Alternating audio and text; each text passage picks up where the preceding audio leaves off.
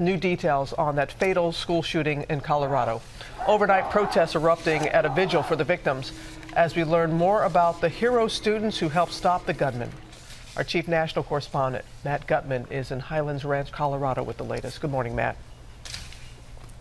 Good morning, Robin. That was one of two vigils, and at that one that you just mentioned, the students seemed to rebel at the political tone taken by organizers chanting mental health. Instead, they wanted the focus to be on the three students who tackled that primary shooter, stripping him of his gun, and of course, one of those students paying for his courage with his life. Overnight, a vigil to remember the victims, boiling over in anger. Frustrated students stalking out of the Highlands Ranch High School, demanding to be heard. The event featured politicians like presidential hopeful Colorado Senator Michael Bennet and gun control advocates speaking to a packed gymnasium. But the tone shifted with students and their parents protesting politics and blaming the press. This can be uh, an incredibly divisive or painful, awful time, or it can be a time where we come together. It spilled into the hallways, students chanting. This anger coming as a community grapples with a tragedy. 18 year old Kendrick Castillo was killed after being the first person to rush the shooter. Complete disregard for his own safety. He was immediately there to respond. He was immediately on the shooter and he was ready to end the threat. Witnesses say Castillo pinned 18 year old Devon Erickson to the wall.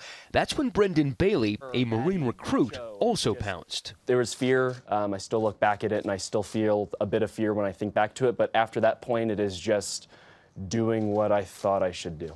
Just three days shy of graduation, Kendrick was a tinkerer into robotics who worked on his father's car and had told his dad that if he ever encountered a shooter, he'd fight. When I see the people that he saved, it makes me happy, and I know that my son wouldn't have had it any other way.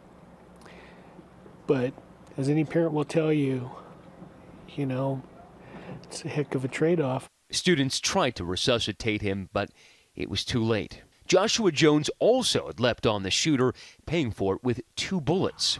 He's one of nine people shot, several still hospitalized this morning. I got to see uh, two, two heroes, two regular high school kids, two really awesome people uh, jump into action without any hesitation, and I was more than lucky to join them in doing that action. As that gunfire rang out, one 15 year old student immediately started texting his father, saying, Dad, I love you, just in case. 36 hours later, he can't get the sound of that lockdown alarm out of his head or that sense of fear. No matter what what you went through, there's no, there is no possible way to justify taking what you're feeling out and inflicting it on other people. Like many of the school, he knew both of the suspects. Erickson appearing in court, that fuchsia stripe of hair bobbing when he nodded to the judge.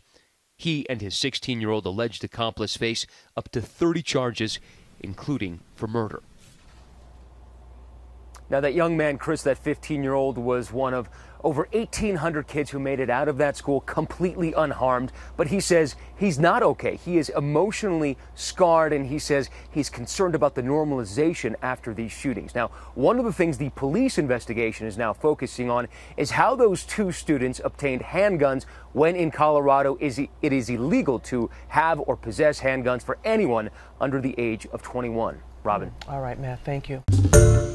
Hi, everyone. George Stephanopoulos here. Thanks for checking out the ABC News YouTube channel. If you'd like to get more videos, show highlights, and watch live event coverage, click on the right over here to subscribe to our channel. And don't forget to download the ABC News app for breaking news alerts. Thanks for watching.